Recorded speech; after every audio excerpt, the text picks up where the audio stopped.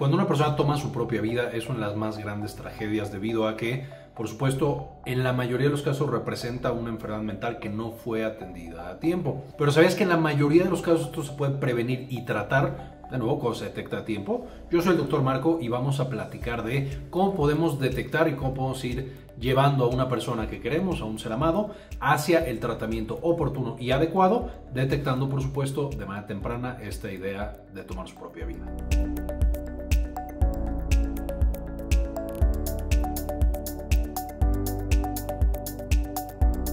Por supuesto, primero que nada tenemos que entender quiénes son las personas que están más en riesgo. Y aunque nos puede pasar en cualquier momento de nuestra vida, entre los 10 y los 25 años, el suicidio va a ser la segunda causa principal de mortalidad en todos los lugares del mundo. Y esto por supuesto nos indica que en estas edades es donde debemos ser mucho más cuidadosos, entre 10 y 25 años, con las personas. Y debemos usar todas las estrategias que vamos a platicar en este video para detectarlo y de nuevo dar un tratamiento antes de que sea demasiado tarde.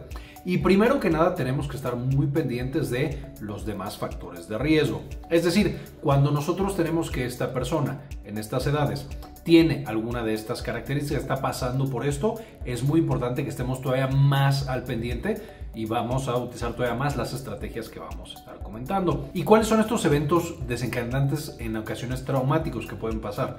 Estas personas, por supuesto, cualquier cosa que esté generándoles daño y sufrimiento a ellos, es decir, cosas como eh, un divorcio, por ejemplo, de los padres, por supuesto, una tragedia familiar, el que fallezca un padre, una madre, alguien más en la familia muy cercano, incluso en ocasiones, aunque un poco menos frecuente, una mascota, también hermanos y hermanas, todo esto va a contar dentro de sus eventos, pero también incluso cosas que no siempre pensamos que son tan trágicas o que son tan eh, traumáticas.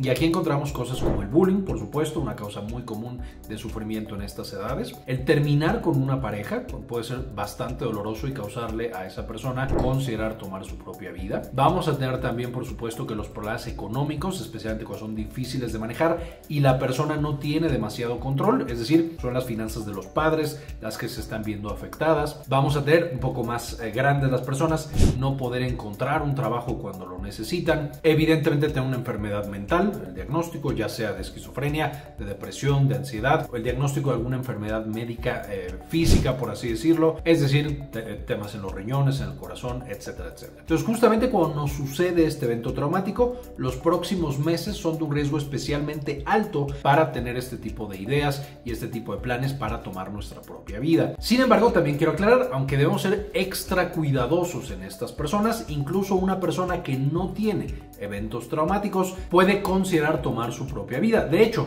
solamente 9 de cada 10 personas que toman su propia vida van a tener justamente este tipo de eventos traumáticos. Es decir, son la mayoría, sin embargo, tenemos ahí una, proporción importante, más o menos el 10%, que no tuvieron este evento traumático y también pueden presentar con esta ideación o incluso con intentos. Ahora, ¿qué es lo primero que tenemos que hacer? Definitivamente lo más importante va a ser la comunicación. Y esta comunicación tiene que ser bilateral es decir, yo necesito ser muy perceptivo con esta persona, de luego en cualquier edad, pero especialmente de los 10 a los 25 años. Estar pendiente de lo que dice, lo que escribe y no tomar nada de lo que dice como si fuera una broma. De repente estas personas, los jóvenes, dicen es que me gustaría de pronto, pueden decirlo o escribirlo y de repente mostrarlo. Decir me gustaría no despertar el día de mañana. ¿Qué pasaría si yo me muriera? ¿Qué van a pensar las personas? ¿Alguien iría a mi funeral? ¿Alguien se acordaría de mí y me extrañaría? cambiaría la vida de una persona. Todos ese tipo de mensajes, aunque no me estén diciendo tal cual estoy pensando en tomar mi propia vida, tienen que llevarme a creer que está pasando por su mente. De la misma manera, por supuesto, vamos a necesitar, además de estar muy pendientes y escuchando lo que nos dicen, habrá personas que no lo comenten o lo comenten de manera muy privada, no con nosotros, sino con amigos o con alguien más. Entonces tenemos que también ser muy abiertos en cuanto a la comunicación y no tener miedo de llegar y preguntar directamente, oye, ¿cómo te has sentido? Eh, ¿Has considerado esto o aquello? ¿Te he visto diferente? ¿No hablas tanto como antes? ¿Te sientes bien? La plática definitivamente alrededor de la enfermedad mental en general, es decir, la depresión, tiene que darse de manera constante, cómo te has sentido, te sientes bien, te sientes animado, he visto que ya no tienes tantas de estas actividades, no ves tantos a tus amigos, etcétera, etcétera. Pero también la plática dirigida específicamente a este tema del autodaño y particularmente de tomar mi propia vida. Y de nuevo, preguntar, oye, ¿has pensado pensado en no despertar, te has sentido muy triste, has tenido llanto fácil que yo no haya notado, sientes que tu vida no tiene propósito, sientes que las cosas no van a mejorar. Es muy importante que no tengamos el miedo de ir con esta persona a tener este tipo de conversaciones directas, francas y honestas y de esa manera muchos casos que a lo mejor no teníamos tan visibles van a brincarnos y vamos a decir esta persona claramente está sufriendo. Ahora, una vez que detectamos este problema, incluso si es leve, incluso si queremos que no es tan grave, el siguiente paso, por supuesto, es buscar atención de un profesional. Y atención de un profesional puede verse de diferentes maneras. Puede ser acudir a consulta con eh, personal de psicología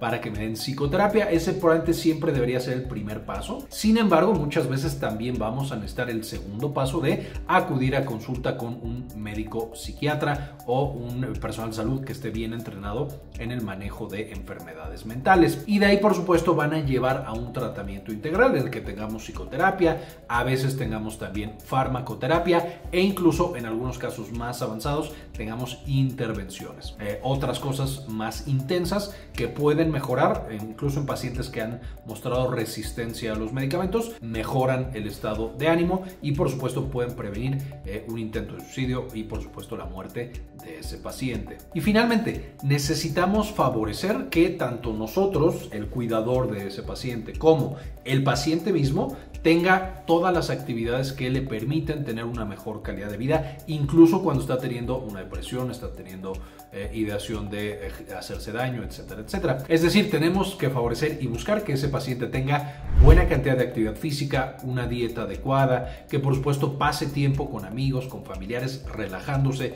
distrayéndose, que pueda estar un tiempo solo, meditando tal vez, haciendo actividades que le gusten, etcétera, etcétera. Ese, ese balance, por supuesto, va a también ayudar solamente a que ese paciente tenga más apertura, tenga mejor comunicación y tenga más redes de apoyo para que pueda salir adelante, sino que también va a mejorar, por supuesto, la química cerebral y le va a ayudar a la recuperación de depresión o solamente de la ideación suicida que está presentando. Estas redes de comunicación también a nosotros como cuidadores nos permiten entender, por ejemplo, cuando se comunica con los amigos y a los amigos es a los que les menciona estos problemas mentales que está padeciendo y entonces entre todos podemos lograr que ese paciente mejore. También si nosotros somos el amigo, si nosotros somos el confidente al cual el paciente nos está confiando estos mensajes, es una decisión complicada, le digo por ejemplo a los papás, le digo a los demás amigos, etcétera, y no es sencillo no en todos los casos la decisión correcta es abrir, digamos, el secreto que me está compartiendo. Siempre deberíamos ser muy claros, necesitas buscar ayuda, necesitas que otras personas vayan a estar contigo. Yo no soy un profesional en esto, yo no te puedo ayudar como si te puede ayudar alguien que sabe de la materia. Entonces siempre el mensaje eh, más importante es que esa persona busque ayuda, y de la mayor cantidad y de la mayor especialización posible. Es decir, todos los amigos, todos los familiares y el personal de salud, todos deberían trabajar juntos para proteger a ese paciente. Finalmente, en este video yo estoy hablando y me enfoqué mucho en los pacientes de más alto riesgo, pacientes entre 10 y 25 años que tienen algún evento traumático, que ya tienen eh, datos de otras enfermedades mentales, etc. Pero es importante mencionar que esto de nuevo puede pasar fuera de esta eh, población de muy alto riesgo. Puede pasar en adultos, adultos, mayores, incluso también en niños. Puede pasar en pacientes que no hayan tenido eventos traumáticos francos, o al menos no en este momento. Puede pasar en pacientes que no tienen datos de enfermedades mentales. Y es por esto que es muy importante tener presente toda esta maquinaria, todo esto que tenemos que hacer y todos estos mecanismos de protección para que por supuesto podamos proteger a los pacientes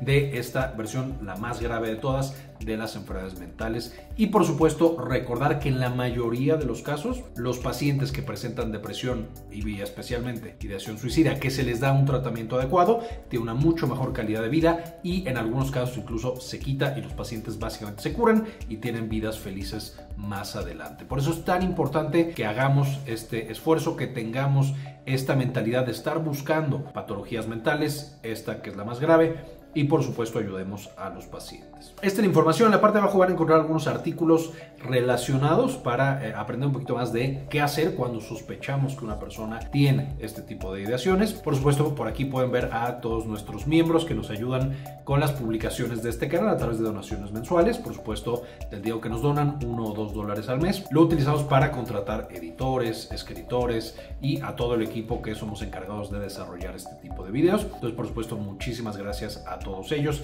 Si quieren ser parte de este eh, programa de miembros, en la parte de abajo también dejo un enlace para que se puedan meter y apoyarnos a generar cada vez más contenido y de más calidad. Muchas gracias por ver este video y como siempre, ayúdenos a cambiar el mundo, compartan la información.